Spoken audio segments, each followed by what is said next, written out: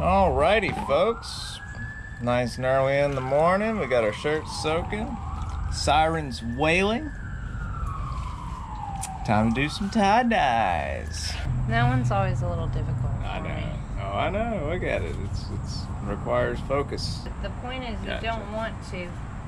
You just want to hold the folds. You don't want to make them so tight the dye can't get down into. Let's do a little hot pink.